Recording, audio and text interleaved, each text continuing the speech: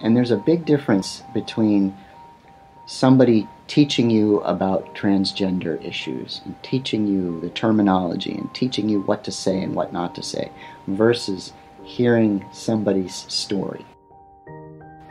I learned about this suicide attempt rate is 50% for kids. Before they turn 20, 50% of all transgender kids will try to kill themselves. You know, when I went through this, my parents didn't have any success stories to turn to. There was nothing, they couldn't look at someone who went through this and be like, okay, well, look at this person. Mm-hmm. You know, Chris could turn out like them, and Yeah. that would be fine. Yeah. That would be great. Mhm. And I feel that if there are more people like me who share their story, parents will have that, kids will have that, Mm. and they'll they'll see that there is hope.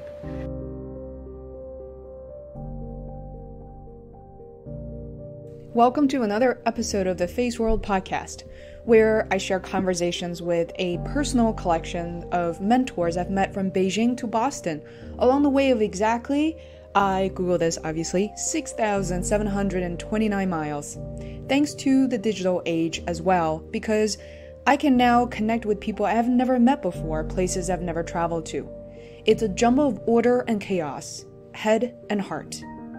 After I had the pleasure to interview Dorie Clark, she, by the way, is the author of an amazing book called Standout How to Find Your Breakthrough Idea and Build a Following Around It. She immediately introduced me to a new guest named Chris Edwards.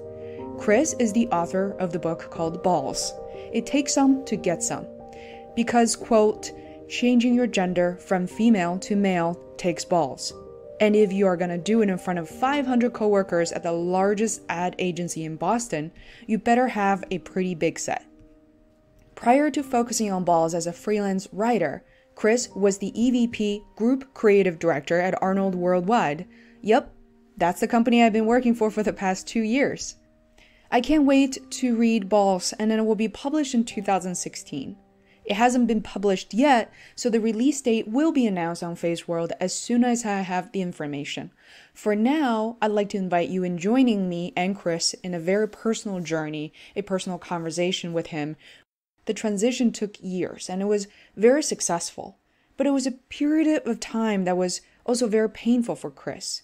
He made a decision, however, to step out of his comfort zone and tell a story, a success story that others, including transgender people, their families, parents, friends, and everyone else can relate to and to understand what it means to us, what it means to be human. Kristen and I laugh plenty on this podcast. So you see, learning new things don't always have to be painful. Chris teaches a valuable lesson on how we can all just get along better. What's offensive to ask, and what's okay, and what not to beat yourself up as long as you try. It's an amazing experience for me to connect with such an authentic soul, a beautiful, a generous soul, and a great storyteller who's absolutely engaging to listen to. So if you like this episode, please make sure to visit feisworld.com and check out my other conversations I've recorded in the past. I created a Feisworld podcast starter guide that helps you navigate content that's most relevant and compelling to you. Without further ado, please welcome Chris Edwards.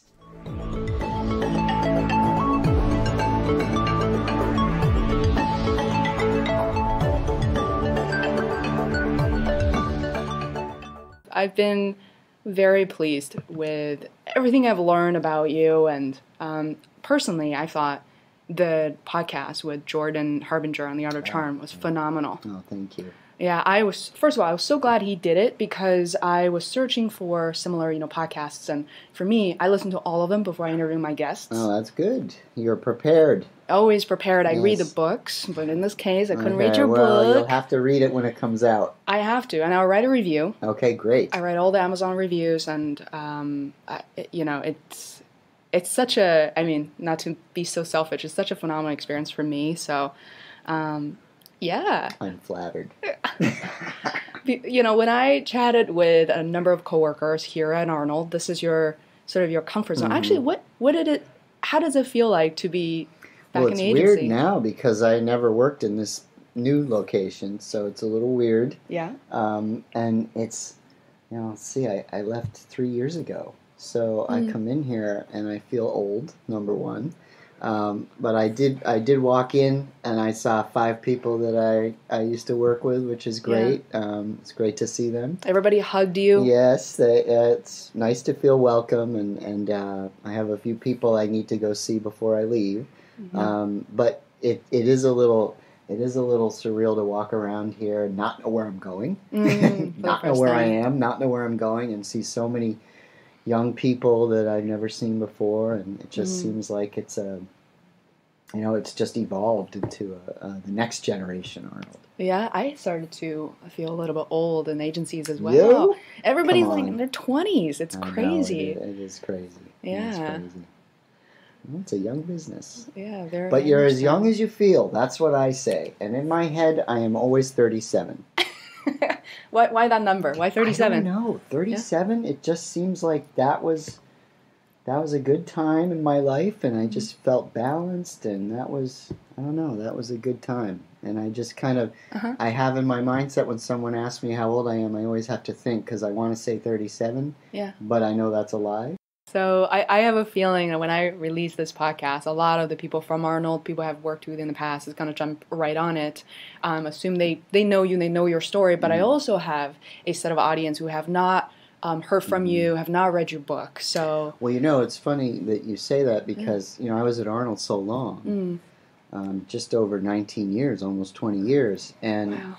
when I when I first announced, you know, hmm that I was uh, going to be transitioning, of course everybody knew, uh, and for years everybody knew. And my transition took took years. I think a lot of people think it's like a one and done surgery type of thing, but it's not.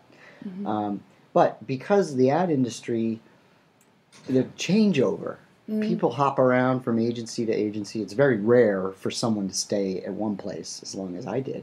Right. Um, but because of that turnover, especially creatives turnover two to three years, there was a time when a, a long many years when I was here when I didn't know who knew and who didn't know, Mm, and a lot of people didn't know, and I could kind of tell when they didn't know if I sort of made a joke or a reference to it in you know in a in a subtle way, and then people would some people would just be squinting like what like not get the not get the joke or the reference, uh, and then actually one of my friends um, had said to me, uh, you know, I, I managed a McDonald's account for nine for the last nine years I was here, it's a big account Mhm. and um, a lot of account people, way more than creatives.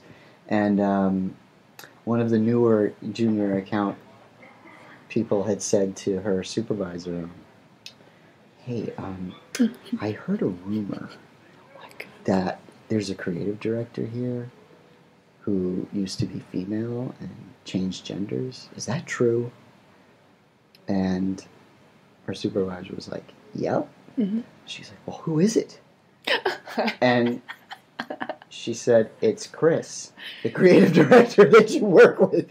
Make her And guess. she was she couldn't believe it. You know what I mean? Yeah. So I, I, it's it's funny and it's great because that's all I ever wanted. You know, I never wanted Mhm. my transition to define me, Mhm. um, which is what is a little bit challenging for me now as I've written this book and I'm trying to get it published and speaking and doing all these things. Um, it is defining me.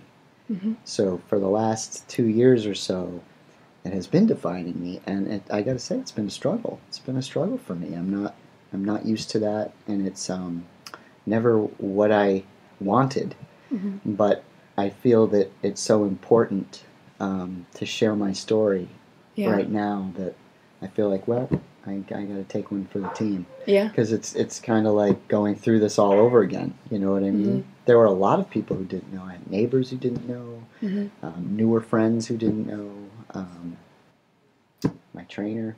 You know, Mhm. there were Mhm. there were a People lot of people who didn't know, and then they just have just found out recently. So Recently. yeah, wow. since I started to, um, you know, they you Google me now and it's it's out there. Um, Mm-hmm. You see me on Chronicle. You, you know, I'm I have to be on Facebook. You know, I'm not a big social media person, but I'm trying. Mhm. Uh, so I have to be out there, and, and people are, you know, Mm-hmm. surprised.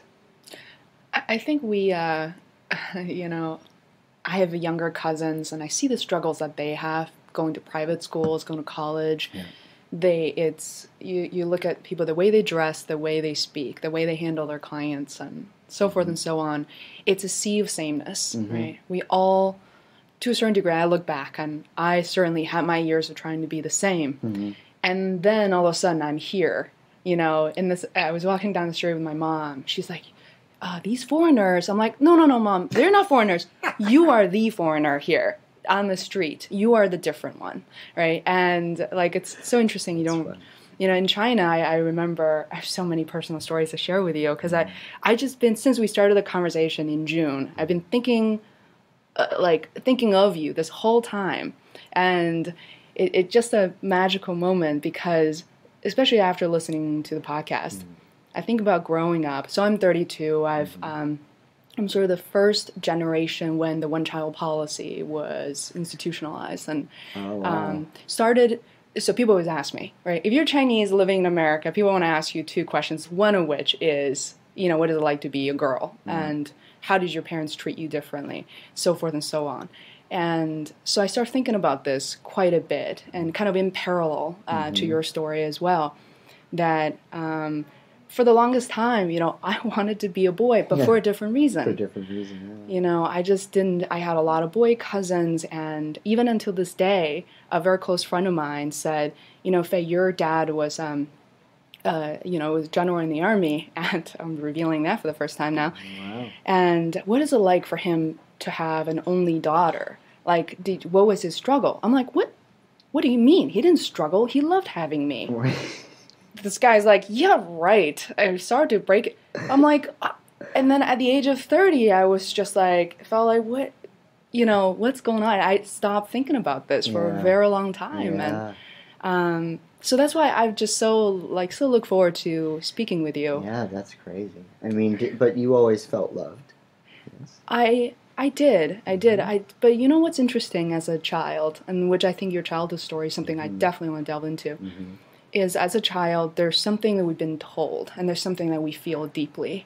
And um, I've, in China, unfortunately, your parents don't always tell you that they love you. Yes. Well, well, you know, we never said I love you in our house. Yeah. I Wow. always knew I was loved, and I knew they loved me. And you know, they'd sign cards, "Love mom, love Mm. dad," and we did the same. Mhm. Um, I think it was their generation, Mm. and because my friends say the same thing. And it wasn't until I came back from college and my older sister came back. It was really my older sister started it. She came back from college Mm. and she started to say, you know, I love you. And and I you know, I was only a year behind her, so I was in college and we kind of started it and kind of guilted them into saying it back, you know what I mean? But then they, then we started to say it all the time. Yeah. But I think it was awkward for them because their parents probably never said it to them. Mhm. I think it was a, a generational thing. But I always felt loved. There was no question.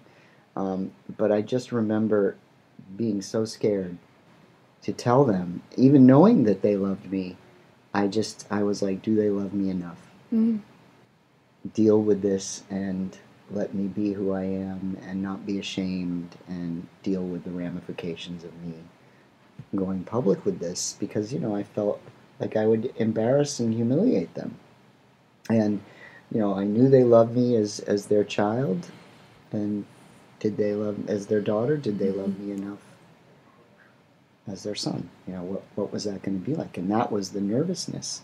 Mm-hmm. And I just didn't know. And looking back on it now, I can't believe I ever questioned Mhm. questioned that. I mean, it's it it really um, you know I get emotional thinking about it. How could I have ever thought that of them? Mm. And just the way that they've supported me and handled this has been just amazing. Mm. And I would not be here today if, if they if I didn't have their love and support. And it's unfortunate because most kids who are transgender do not have that Mm. and it's you know a big part of the reason why the suicide attempt rate is so high. Yeah, I, I was very heartbroken uh, learning that as well. And um, you know, I think that really transitions in, into the question that mm. I wanted to ask. And after listening yeah. to your other podcast, like, why hasn't that question been asked? And after speaking with Anna Ruth, she's like, well, like, he was able to answer that during the 3% conference, mm-hmm. Which is why now? Because, you know, listening to your story, I realized that's a part, that's a part of your history. You know, you wanted to kind of leave behind. You have a new identity now. This is who you are. Mm-hmm. Uh, and all of a sudden, two years ago, you've you know basically you came out and started sharing this story mm-hmm. uh, with the public, and you talk yeah. about the struggles. Like, why? Why now? Uh, well, so I, I'd always. I'm. There are a couple reasons, and uh, one of the reasons is I've always been uh, a person who believes that things happen for a reason. I know. It gives me mm-hmm. gives me, uh, you know, I believe in God and I, I believe things happen for a reason. There's a higher power, and you know, I gotta say, being transgender is a nightmare. It it is the worst. I would never wish it on my worst enemy. It just sucks, and it is it is horrible thing to to go through, and I always wondered why me, why I'm a I'm a good person. I'm nice to people. I treat everybody with respect. I, you know, I, I'm just, I, I'm not an evil person. Why would God make me this way? I just don't understand. And I've been struggling to, you know, my whole transition my whole life, basically. Why? And I started to think about, well, there's a there's a couple things in play. You know, my I have a loving and supportive family. I have uh, parents who have the resources financially to afford the surgeries that I would need. Back then, nothing was covered. Um, and I'm a, a, very stubborn and strong willed person. Um, and I am, when I know something that I want and something that needs to happen, I make it happen. And so, you know, I knew I was going to see this through. And then the other thing is, I'm a writer, and I'm articulate. I'm I can present, and that's just because of how what my job was. Mm. And when you put all these things together, um, if God had to stick it to somebody, I was a pretty good target because my odds of being successful were very high. Mm-hmm. And being a writer and somebody who who can present and, and speak about it articulately uh, and in just a, a regular conversational way, mm-hmm. um, I think that was sort of maybe why. Maybe that was my reason, and that's what I was supposed to do write about it and talk to people about it and, and help change perceptions. So that was a big reason, and that's sort of what I was thinking about as I decided, you know what, I got to write. I've got to write this book, and if I don't do it now, I'm never going to do it. I tried to do it while I was at Arnold working, and I, I just I was working seventy hour weeks, you know, and mm-hmm. and I, I they were kind enough to let me try to do it part time, so I was working four days a week, and then I was going to do the fifth day writing, mm-hmm. and that just blew up in my face. So there, there was that was never going to happen. Um, mm-hmm. So I, I had been here a long time, and I was getting kind of burnt out anyway, and, and I was like, you know what, I just got to do it. I got to do this now, or I'm never going to do it. Um, and at that time, um, I don't know if you remember this, uh, for people in Massachusetts, they might remember this, but all over the news was uh, Michelle Kosilek, who was um, in prison for murder. Mm. Uh, and she was uh, a male to female. And she was all over the news because she was going to have gender reassignment and all the taxpayers were going to have to pay for the surgery. Do you remember that? I remember, yeah. It was all over the news, mm-hmm. and they were showing images of her that were not the least bit flattering. And again, and this murderer, you know, murderer, murderer, transgender murderer, you know, the pictures of, of her, and it was all that's all what was in the news and what the media was showing. And it just, you know, I was, you know, already, this is what the media does. And I was like, God, you know, can't they just show mm-hmm. people who are quote normal, yeah. who live everyday lives, are successful in what their career is, and If you walk down the street, you'd never know in a million years. You know, that's more the reality. Um, but that's not what you see. And then it's a Caitlyn Jenner story as well. I mean, Yeah, that's well, the that- extreme that of Hollywood. Came, yeah, that that that came later, but so that was when that was three years ago when I started to. I was like, God, you know, I really need to change mm-hmm. the face of this and Yeah. and and try to change perceptions. And then the third reason was, I learned about this suicide attempt rate is fifty percent for kids before they turn twenty. 50% of all transgender kids will try to kill themselves. And, you know, my belief is that it's because they don't have any hope. They're not getting support uh, at home. And, you know, when I went through this, my parents didn't have any success stories to turn to. There was nothing, they couldn't look at someone who went through this and be like, okay, well, look at this person. hmm You know, Chris could turn out like them, and Yeah. that would be fine. Yeah. That would be great.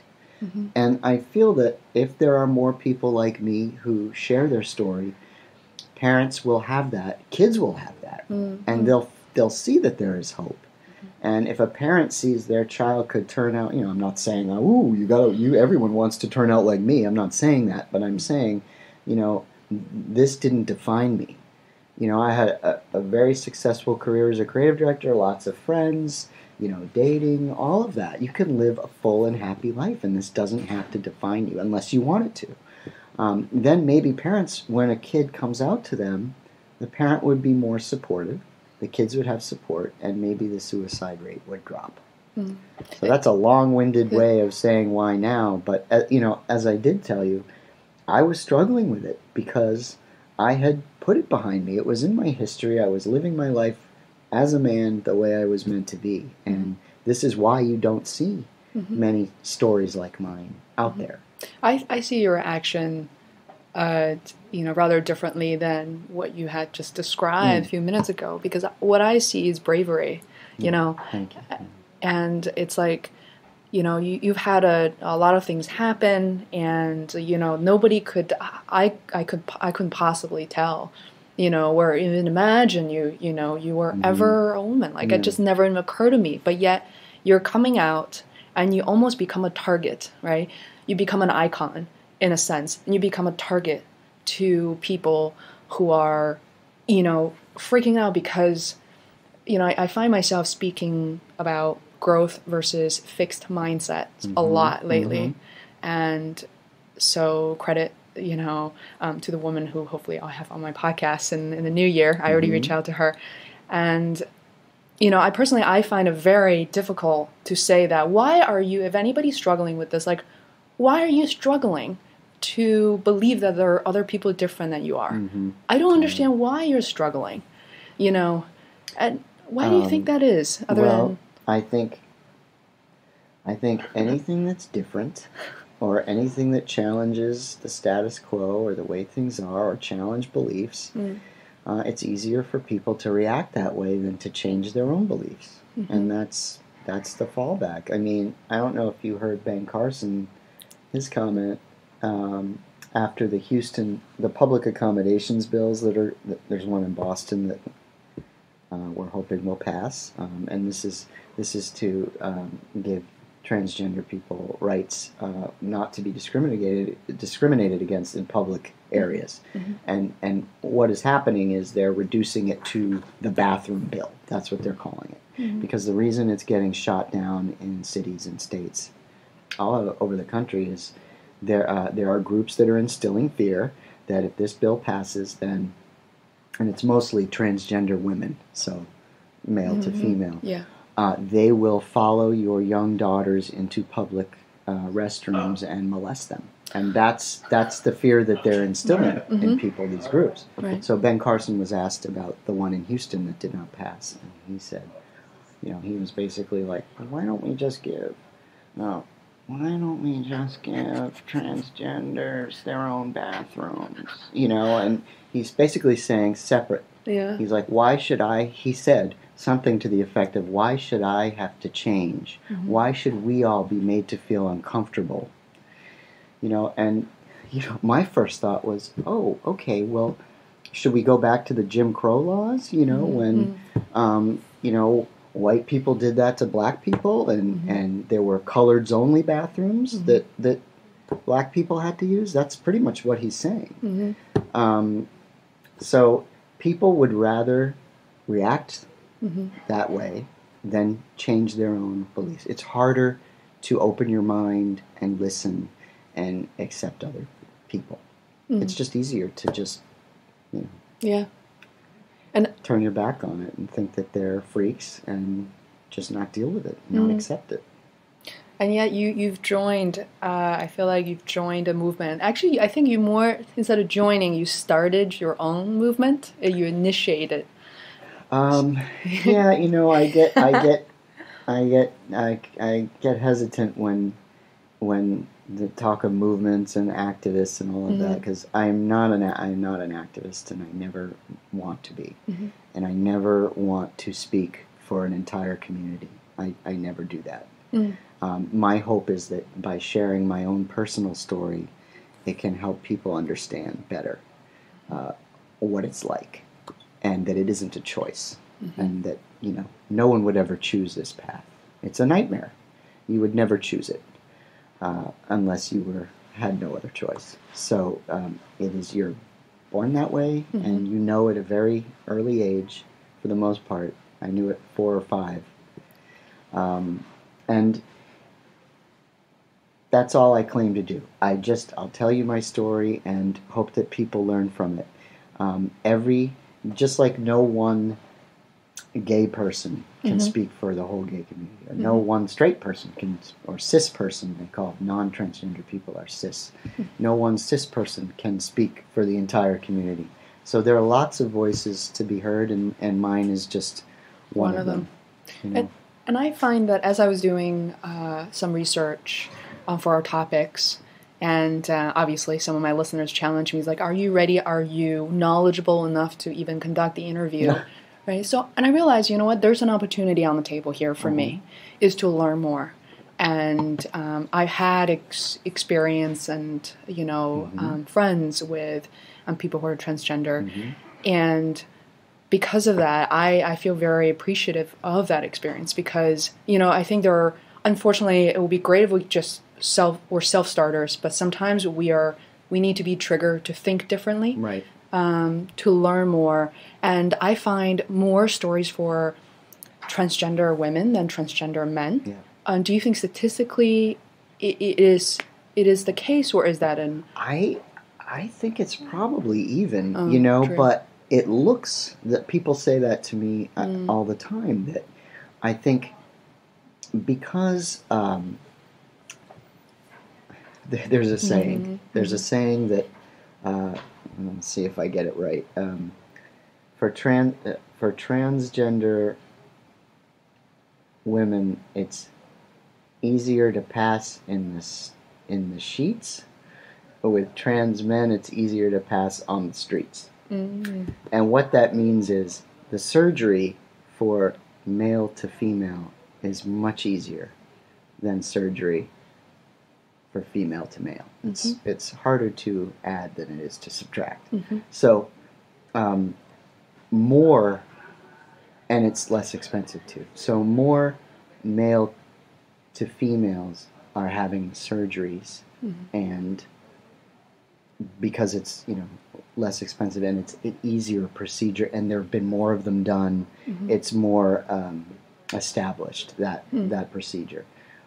For um, female to male, less are having the surgeries, and it, because it's easier to pass, you Mhm. know, I have I have air quotes going to Mhm. pass on Mhm. the streets. You might not know, Mhm. but if if if um, there are trans women who have transitioned later in life, it's a lot. Um, it's a lot harder to pass, Mm. uh, and that's why this whole Caitlyn Jenner thing. There's a lot of backlash because she's had so many feminization procedures Yeah, on her face. she was older when this happened. Yes, but Mhm. um, you know, a lot of so when I say the surgery for for male to female is easier, I'm talking about the genital Yeah. surgery. Um, there are lots of other procedures that, like Caitlyn did, to make herself look more feminine and, and demasculize Facial. her face. And what what other trans women are saying who can't afford those procedures and maybe don't even want to go through them. It's painful and it's it's a scary thing, but they're saying that it's creating a um, beauty standard now that you have to fit into I see. and so it's it's hard you know it's like why can't people just look how they look and, and be accepted but what what they're saying is now you know with Caitlyn and, and other Hmm. trans people who look like you'd never know in a million years and they've had these procedures that's Hmm. now the ideal standard that all trans people have to have to get to That I never thought about that Yeah. before, and there are Um, models now that Andreja Pejić, uh, Geena Rocero. I mean, they are beautiful women, and you know they're trans women. They're beautiful women, and um, you know when you start transitioning earlier Mhm. during, you know, ideally you would start before puberty, and then you'd never have the puberty of the gender that you are not. Mhm. You know, you wouldn't have that physical puberty. Um, they're doing that now. They have hormone blockers that can make that happen. And then, so for me, you know, if I had had that, I would have been taller. I would never have had breasts to have to remove them. Mhm. You know what I mean? Like you, there are certain things you're still going to have to take care of surgically if you choose to, but you you build your build and your you know for for for boys who who are going to transition to female, they wouldn't have an Adam's apple. They wouldn't build the muscular skeletal uh, of a man. So there's a lot of, of differences, and that's why you know there's a controversy now. The doctors are saying trans uh, kids should be starting this now to give themselves a better outcome. outcome. Yeah. And uh, other people are saying they're too young to know, and how, you know how do you know? And are they do, do can they um, do they have the emotional Strength. strength to do to do it at that age? You know, like I, I don't. Those are good I questions. can't answer those questions. It's up to every person individually. And I, uh, yeah, those are, I think, really interesting explorations because in order for the transition to happen, you do need a support network, meaning the doctors, you know, maybe the 1 800 number to call, Mm-hmm. and then also just just meetups, just gr- groups of people you can relate to. Yeah, well, I'm, I'm talking too. Like, you know, yes, I would have preferred that because I could have, you know, Yeah. could have been taller. You know, I could have had, you know, a Mhm. body that seemed more masculine, and I and I wouldn't have had to undergo uh, the same surgeries that I've had. But um, would I have? Been, I mean, back then at my age, you know, back then, forget it. Like no one would have accepted it. I would have been. I, I don't know what my life would have turned out like. Mhm. And now I look at kids, and kids seem to be so much more accepting of differences. But I'm there's still bullying.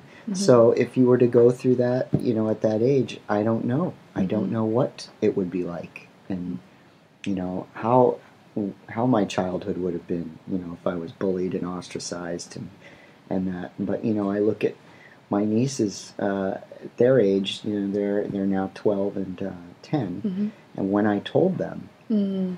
they were um, I think they were they were nine and yeah it was I think they were ten and eight. Wow, what was how like? old they were, and they had no idea. Mm. And so they knew me as their Uncle Steiny, and I was their time? uncle, and they didn't know. Yeah, how do they react? How do they respond to that? They um, they were we were playing cards, Yeah. and they were beating me as usual. Uh, and we had a break, and, and Hannah, my sister Wendy, um, we had decided we were going to tell them, you know, with this book coming out, and they were very curious what my book was about. And They're old enough to know as well, yeah. and uh, and so um, you know, I, I told them. My sister brought up the book on purpose, and then I said, "Yeah, well, hopefully publishers are looking at it now, and then hopefully one of them will want to buy it, and then you know, you guys can read it, you know." Mhm. And I said, "Do you know what it's about?" And and they said, "Oh yeah." Um, Calla, the older one, she's like, "Yeah, it's a um, it's a memoir. She knows the term memoir Mm. because I've taught, I've told her, And I said, "Do you, you know, do you know the difference between a biography and a memoir?" And I told her, a biography is the person's whole life, and a memoir is, is a specific piece of it, Got it. and it could relate to something traumatic or something, ha- you know, just Mm-hmm. and and and I said, you know, you don't know this, but you know, I went through something very traumatic, and and um, it took a lot. It Mhm. was a big struggle, and it was hard for me, and, and I'm writing about it to help other people who might have to go through it. And so, you know, they were kind of looking at me worried, like, oh my God, you know, what was it? And, Mhm. and uh, I just, Mm. it was so hard. I was so nervous, but I, I just said, um, you know, when I was born, I was born with a girl's body. Mm. I didn't want to say I was born a girl. Mm. Um, I wanted to be clear that Yeah. it was it was I was always a boy to me, Mhm. and it was just this body. And they, you know, they were very surprised. I mean, they their eyes like widened. Mm. And I just talked about how I didn't understand um, why everyone thought I was a girl, and why did I have this body when I knew I was a boy, and t- you know, told them a little bit about it, and, but spoke in very plain terms, very Mm. simple Mm-hmm. very very simple um, and so we had a long conversation about it. They didn't ask any questions which i thought they would. Mm-hmm. uh, and they just kind of like sat there and nodded and i said well are you surprised? And they were like yeah. You know and, i said do you have any questions you want to ask me? You know you might not have any now but any time. And Mm. they didn't have any questions. And then you know then Wendy said to me, "Why didn't they ask him?" I thought for sure. I'm like, I don't, Mhm. "They'll probably ask you, not me." Mm-hmm. So that night she put them to bed. She came down. They didn't ask me any questions. Oh, no. The next day, they didn't ask any questions. Mm. Uh, and we were at the beach uh, the next day, and you know I didn't have a shirt on, and I'm standing there, and I did catch Ava taking a closer look at my chest than she maybe normally would have, and I caught her, and she looked away real quick. And then the next day, Calla said to me, um, or Wendy said to me, Calla has a question for you. And I said, Oh, okay. You know, what is it, Cal? And she goes, Am I going to be in the book? You know, that was her one question. That's awesome. And then, and then three weeks later, Wendy called me, and she's like, "So Stein, I got to tell you the story. You know, it's been three weeks. They have not brought it up. Have not asked us one thing. So Mike and I are sitting at the table with the girls, and she's like, "Finally, I brought it up. I couldn't take it." And I'm like, "So guys, Uncle Steiny's news. Do you know?" Do you want to talk about it? Do you have any questions? You know, and Ava, the younger one, she goes, rolls her eyes, and she goes, oh, "We get it, mom." You know what I mean? And they had Yeah. seen it on TV. They saw uh, an episode of The Boss. What's that? The Undercover Boss. yeah, yeah. There was an episode with a transgender employee, and they had seen it. They knew. That's not a big deal. Don't, don't care. It's almost like breaking breaking out like what sex is. The parents like let's seat you down. Like Yeah. the kids is like that's not necessary. So they Yeah. were they were amazing, and it's not. And I was worried our relationship was going to change, and really has not changed one bit. Mm.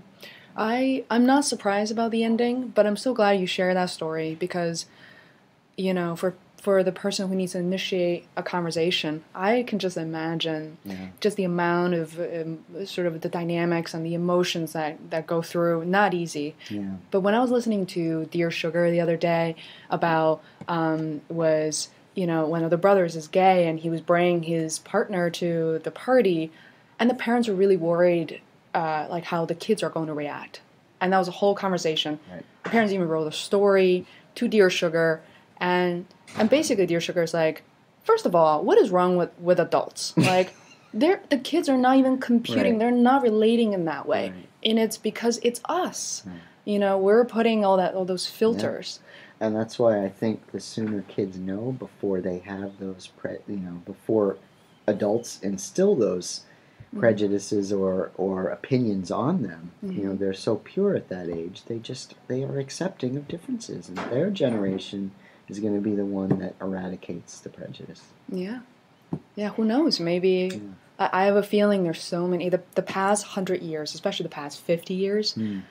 Uh, so interesting. I'm so intrigued by. I'm I'm not really a student of history, or I'm not necessarily good at it. It's a subject I was just frowned upon. I was like, uh, in China, too many, too many years of history, you know. And um, but I find it to be so fascinating to witness, you know, the simple phenomenon of of people wanted to keep age off for the rest of their entire life, you know, and versus now, like we're all trying to do something different. We're doing podcasting, we're writing a book. And that, imagine doing that even 20, 30 years ago. know. People think that you're crazy. Uh, like you're setting up the, the, that's not a good example for people to learn from you. I mean, um, so, but things are changing now. And I, you know, I, I feel the same way of, to a certain degree, coming to America uh, when I was 16 uh, in the year of 2000. There were a lot of people before me, but there weren't as many high school students coming, you know, to the U.S. all by themselves. So, uh, to a certain degree, I felt a responsibility to to do a number of things. If if I may just kind of lay them out, one is that at a young age, you can still establish yourself. You, you can work hard. You can, in my case, there are people watching me to fail because I had a really good life in China. My my parents were very established, and you know they have a network of people who would just hire me after college. I don't know what they were thinking, but then also secondly, I feel like there was that pre and preconception and misconception about Chinese people in the U.S. Right? One, your English is difficult to, to be, you know, you're just impossible to be understood. For one, and you do certain things, you eat certain food, you behave a certain way, you only hang out with certain types of people. I mean, those were all true. And one of my most pleasant surprise as I received this a card upon graduation from my physics teacher, mm-hmm. and he wrote down and he was an amazing man, and he wrote down is like you changed my perception about Chinese people, Wow. you know. And I thought that was so powerful. Mm-hmm. And thirdly, kind of just like hit it mm-hmm. home Right. was the fact that you know Chinese people are physically sort of weak, and that you're nerds, right? You read books, you're good at math, but you can't do sports. So uh, I, um, so I uh, out of all the sports I could have chosen, um, I was a really I loved playing ice hockey Oh in Beijing. And uh, little did I know that coming, I was just telling my friend, uh, coworkers downstairs the other day that I was so good at two things in China: speaking English and playing hockey. The moment I arrived in this country, I selected both of them. Right? I was like the worst at both of them, and especially going up to school in Maine, Oh yeah. yeah. people specialize in Yeah. ice hockey. Daddies built rinks when they were two right. and a half. Right. And as I did that, and then there were people um, in Maine playing hockey in Maine. I walk into the it's so it's so funny. I walk into the, the ice rink. People look at me. It's like I only see you people on TV. There are kids who told me that they only saw people like me on TV, and it's really interesting to see me in, in person. Wow. And then after a little while, uh, and then we didn't have a girls' team, so I was playing with the boys. And then I saw, and I wish my parents were there, you know, to kind of, because I was scared too. Right. Uh, I wasn't the, the best on the team, but I needed to do that. I just needed to do that, you know. And and then there were people from the school, my teachers will all come watch me play. So, and I think it will take time, and I think it takes courage, and really just that determination. So, again, in a parallel story, Yeah. I'm fully supportive of, what you're doing, and I hope you keep going. Yeah, you know what you said about when that person came up to you and said you changed. You're a teacher. You changed my perception. You know, I mm-hmm. I've done a f- few of these speaking engagements, and it is so gratifying to mm-hmm. me.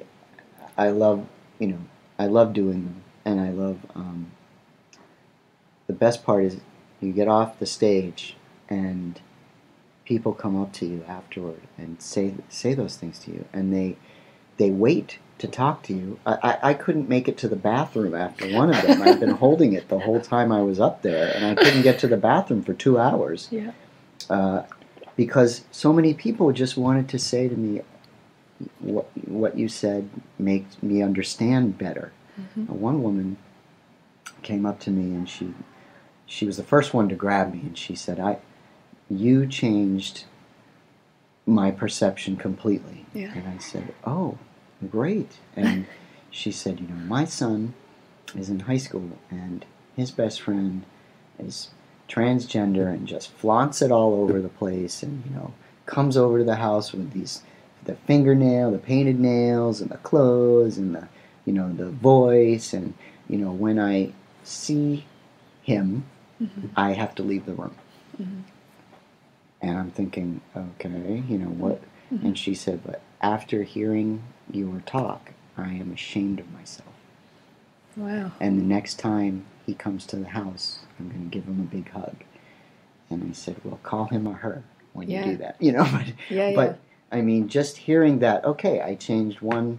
There's one person, you know, and if I can just keep, if if my story can help people understand and, and get them to be more accepting, then that's great. And it just affirms that I'm doing the right thing and that by writing this book, it is going to help. Because sometimes, you know, when you're Mm-hmm. you write the book and yeah, it's your own story and yeah, you think it's interesting, but what do other, do other people think it's interesting? I don't know. Um, and the first speaking engagement I did for the ad club here to seven over seven hundred people, that moment for me uh, confirmed that I was doing the right thing. I, I wasn't among the audience, which I regretted big time, but I spoke with someone who was there, and she absolutely loved it. She loved your speech.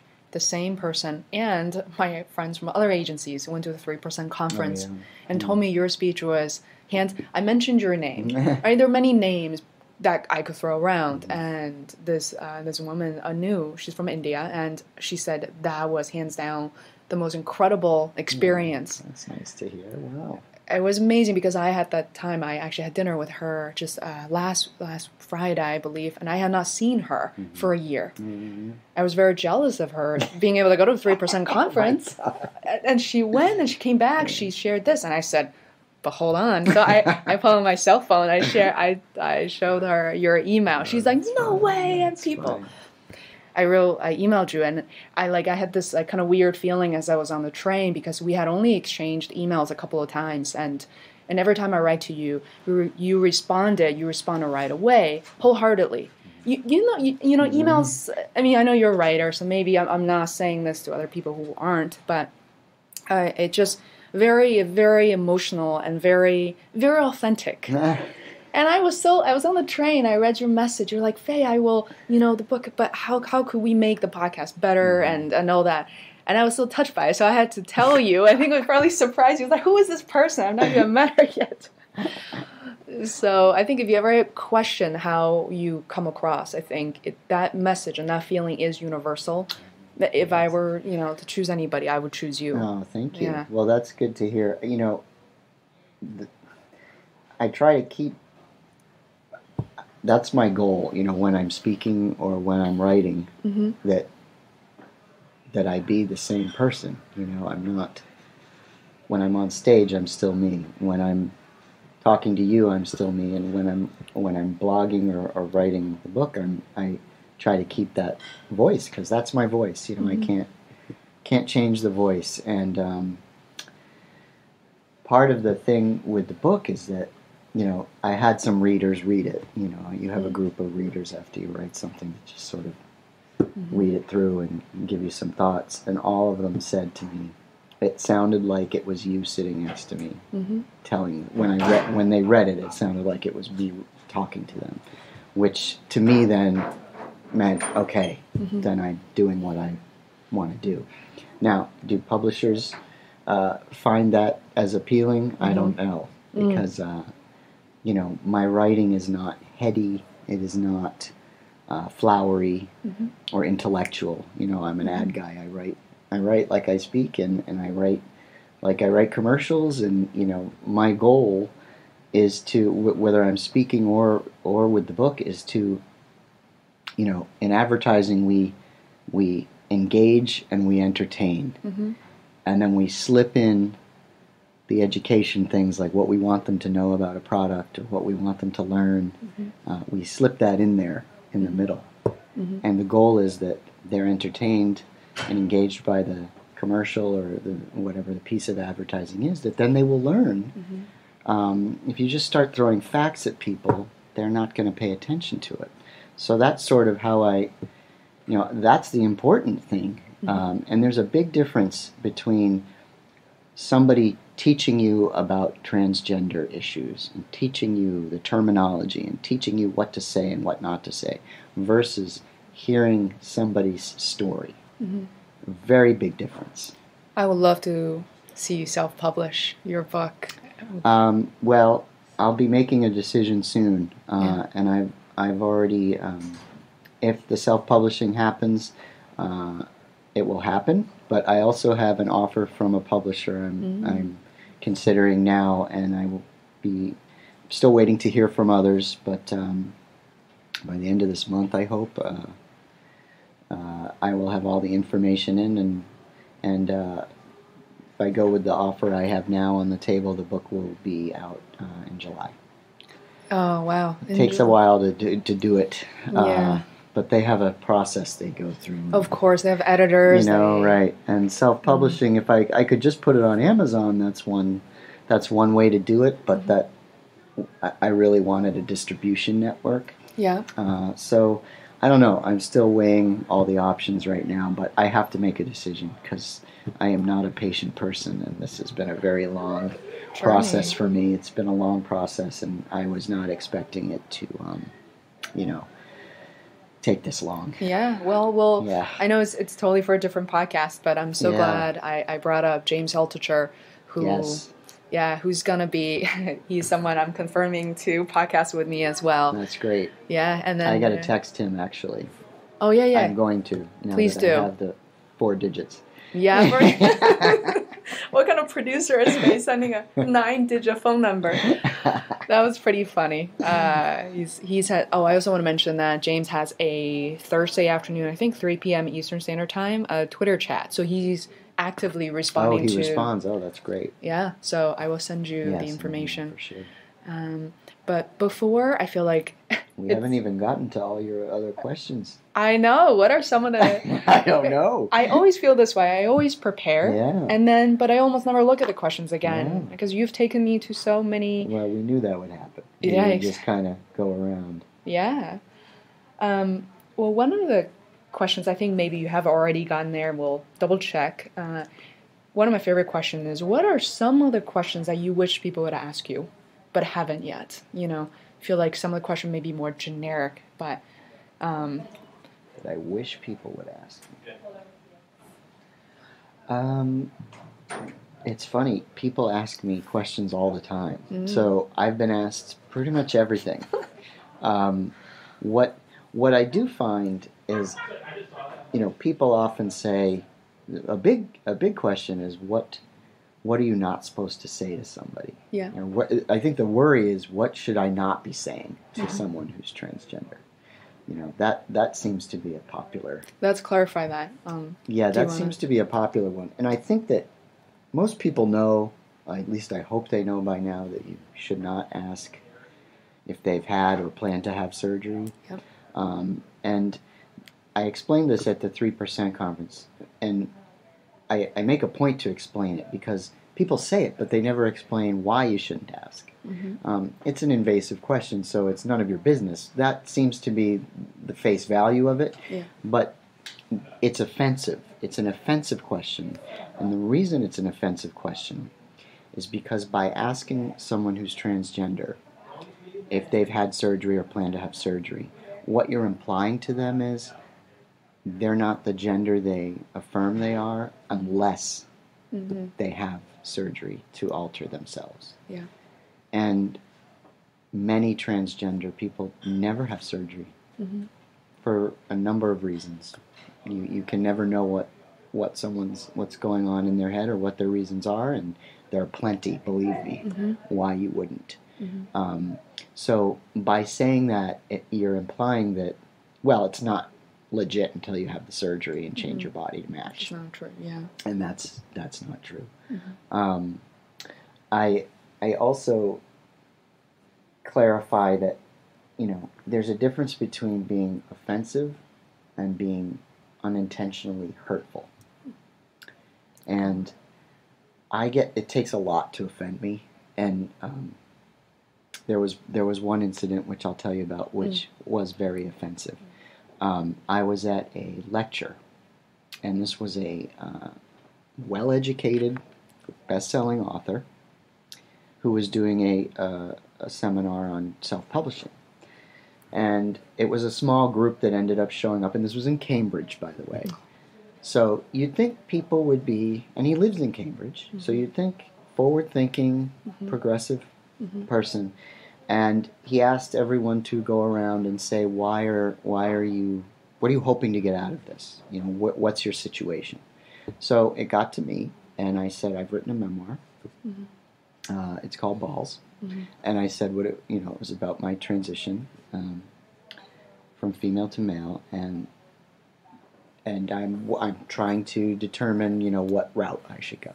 And his face, and I, I was like, "Okay," because I, I, you know, you may look at me and never think in a million years, and that's sort of what his attitude was, and his response in front of the group to me was, um, "Wow, you know, you look very convincing. Um, you could even use a shave." And so that's offensive because, you know, if someone says, wow, you pass really well, a lot of people get offended by that, even. I don't, but a lot of people do. But when someone says, you look convincing, that is an overt way of saying you're trying to fool people. You know, you're really not, but you're trying to, you're, you're, you got a good act going on.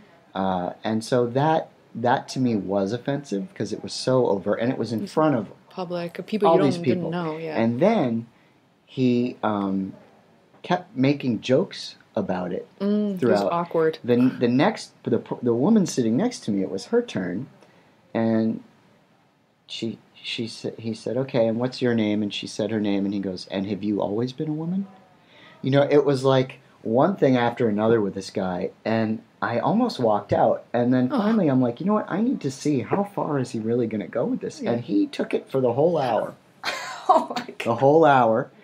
And Ah. then I left, and then his email address was in one of the things he gave us. Yeah. And I sent him a very long email and made it a teachable moment for him. Did he respond? Uh, he did respond, Mhm. and I said, I, you know, I, I laid out every comment he made and why it was offensive, and and that he was very lucky it was me sitting there and not somebody else um, who might have punched him in the face Mhm. or, you know, blasted him online and really humiliated him. I blogged about it on the Huffington Post, but I didn't use his name or anything like that. Someone else might have just done it. Yeah. Um, and he apologized right away and he said, I'd like to call you if, if I may and, and apologize to you in person. And I said, that's not necessary, but you know, I appreciate it. I accept your apology. So that to me is offensive. Then there's um, uh, people who are just, they don't, they're trying to compliment you. They're struggling. They don't know what to say. And yeah. they're, and you know that they're not trying to be offensive and they're not trying to be hurtful, but things they say can be hurtful. And, and the thing I say that, that hurts me the most is if somebody says to me, What did your name used to be? And that might seem innocuous. And when I tell someone that, they're like, Really? Mhm. That is offensive? And I said, It isn't offensive, it's hurtful. Hmm. Because what you're doing is bringing me back to a time in my life mm-hmm. where I want I was ready to kill myself. Like why would you want to send me back to a horrible time and place? Mm-hmm. And like if, if people say, Oh, I, I can't I can't picture you in a dress. I can't did you go to your prom? Like did you wear a prom dress? Like things like that are you're putting me there. Why are you putting me there? Mm-hmm. You know what I mean? And I think they think they're complimenting me by saying they could never picture it in a million years looking at me. Mm-hmm. But um, it is hurtful. And you never want to m- make someone who's transgender force them to go back to that time when they were that other self that they hated. Mm-hmm. So I think people don't understand the difference, and that is a that is a big difference.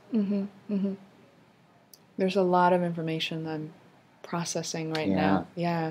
No, it's absolutely true, and and I I want to sort of apologize on behalf of uh, um, Chinese people because we always Right. struggle with pronouns. Oh, Because the in pronouns, Chinese, yeah. I want to kind of just give you a heads up, like pronouns are a big thing. definitely it's huge. And then we, the reason for me to say that is nearly everybody I've worked with, interacted with, because in Chinese, it, the there's no differentiation in terms of the. Uh, not in the written form, they're different. but the way Oh, you say them is the same. Oh wow. Personally, I caught myself in the first couple of years since I I gotten here. That's one mistake. I just I really have to think Yeah. like Yep. before. Well, Yeah. it, it is hard. It's Yeah. hard for people, and I understand that. And you know, when I was going through this, Mhm. uh, my therapist was like, "Listen, you have to be on people. Yeah. You can't keep letting it slip Yeah, because the more you let it slip, the longer it's going to take yeah, for people to. They need to know you're serious, and they need, especially when I did it. I was the only person that anyone had ever met who'd Yeah. done it. So I did that, um, but I was ve- I was respectful about it, you know. And I know people are trying. Mhm. It's one thing if you are just spitefully on purpose not saying the right pronoun. But for the most part, people are trying. Yeah. And I don't get offended by it. right. But, you know, even sometimes randomly, like my sister or my parents Yeah. will say the wrong pronoun still. Yeah. And they're like, oh my God, where did that come from? I'm like, I don't know, but knock it off. You know, but here's the other thing. Um, I'm asked a lot, well, what can we do to make trans people more comfortable? And Yeah. what, what should we be saying? What should we be doing? Right. And, and I appreciate Yeah. People sa- asking that and wanting to know. Yeah. But the fact is, I think transgender people could be doing a lot more to make other people feel comfortable around them. Mhm. And that's what I did. That's why my transition, I think, was so successful because I put myself in other people's shoes. Mhm. And it's really hard now, and I, I feel with this whole there's there's not just transgender, that's an umbrella term. And I think people were just starting to grasp male to female, female to male in the pure form. Now it's gender non-conforming, and that's the big thing now where you're on a scale, you know, you're gender fluid. You may feel feminine one day or masculine another day, and you might want to be called this pronoun on one day and this pronoun on another day. And it's really hard for people to be like, "What?" You know, Mhm. it's it's a struggle for a lot of people to comprehend this and, and understand it. And a lot of the younger generation now that are coming out in this way just are really upset if you don't jump on that bandwagon right away and get those pronouns right or they they want to be called they you know Mhm. the plural pronoun and it's really hard for people to adjust a Yeah. friend of mine is a, um, a uh, teacher and therapist and is, is trying and is really conscious really conscientious about it and always asks me for advice and you know she slips up one time and she's she's like oh my god i felt horrible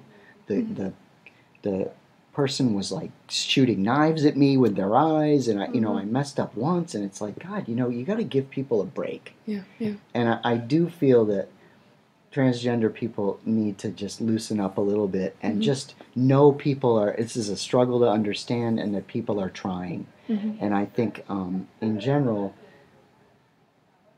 the trans community could be more helpful in, in helping people understand and and being a little more tolerant Mhm. you know we're asking everyone else to be tolerant and we need to be tolerant back Mhm. Yeah. It's definitely it goes two ways. you know and you can tell you can tell when someone's purposely Mhm.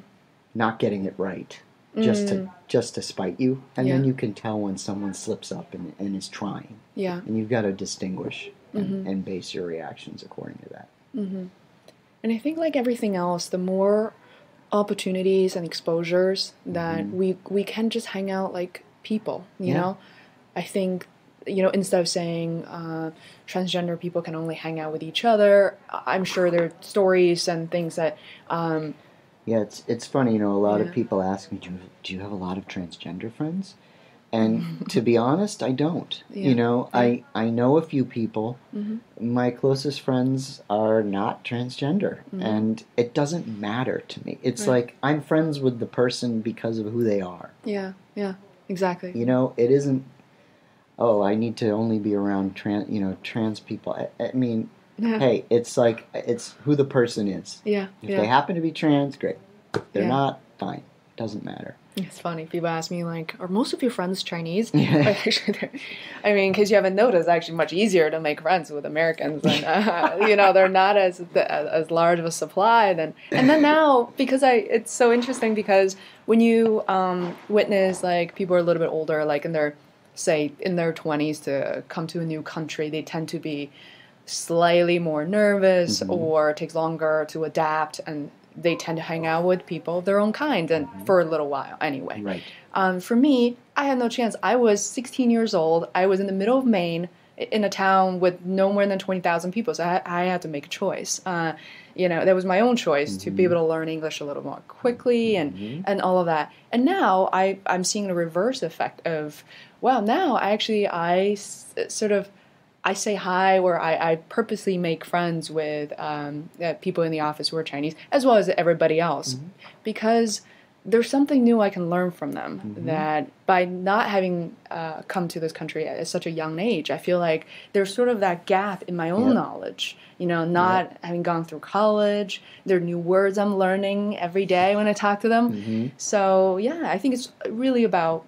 It's easy to say being open minded, but how boring will life be? That's right. you know but just by talking to you i feel like you know there's uh, you know i feel life is like a kaleidoscope to be able to be exposed to different people different cultures you know i came all the way here and Right. yeah and love traveling i think this just like everything else in life um, so it's it's really fluid rather than you know putting labels on on people and events and That's right. yeah. You know what, what Kevin Costner is so funny. I have not referenced him in like 20 years, but but because of this podcast, he said he talked. It is so interesting. And if you have time, I will listen to it. Um, he talks about to canceling out the noise in your own head. Uh, that's a decision that you have to make, and from that point on, that's the only way for you to be happy. Uh, is when you can make yourself happy. So I thought it was really powerful uh, in a way that because there was like I still hear you know I meditate at night and I only follow certain people whether it's podcasting or mm-hmm. you know I interview. Everybody who has so far been on my podcast are my personal collection of mentors. Hmm. And I feel like to me the journey is about sharing my fortune being being a woman being an Asian woman being you know having been living here as, as a teenager and gone through a lot of mm-hmm. hardships. Uh, you know going from contemplating this uh, you know having a podcast for years and think that nobody will ever hear this nobody cares at all like i'm a minority i, I had all these thoughts and all of a sudden after i interviewed um, Dorie Clark Dorie. Dorie i just adore I love her, her. She's the best. i just want to carry her like on my person. Now, how did Yeah. you how did you meet her? so i read her book stand out Find out, yeah.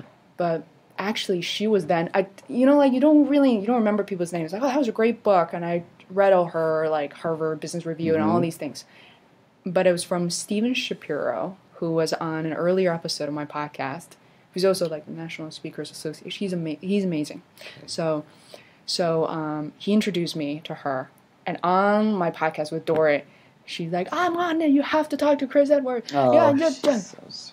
She's like, yeah. And then, of course, uh, and I come to work. They're like, wait, we all know who who Chris Edwards is. I'm like, what? What's going on? So, Yeah, she is. She has always. I met her at a conference, uh, the Grub Street conference, hmm and uh, like she invited me to her house for dinner with friends. Like the next day, I'm like, yeah, all right, I'll go. Uh, great, she's the greatest person, and She's she's, so always tried. cute. She's tried to help me. She tweets. She's quoted me in some of her articles, and she's always tweeting it out, trying to help me. That's gonna be uh, the two her. of us She's going so crazy great. for you now. She's so great. Yeah. Yeah. I mean, and just like hearing from you, I was like, wow. Okay, yeah. Like I, I, I'm like, I can't believe she even wants to talk. I, I don't. I I- I'm like, Yeah. yeah, I'll do it. I, I can't believe that you even want to. yeah. Like, why me? Okay, sure. You know, it just. I'm, I'm still continually surprised when, Mm. when people, uh, you know, value the story enough to Mm-hmm. to and I'm pleasantly surprised. Mhm. It make, does make me feel like it's worth telling and that Mm. writing the book was the right decision. There's I- no question about that now.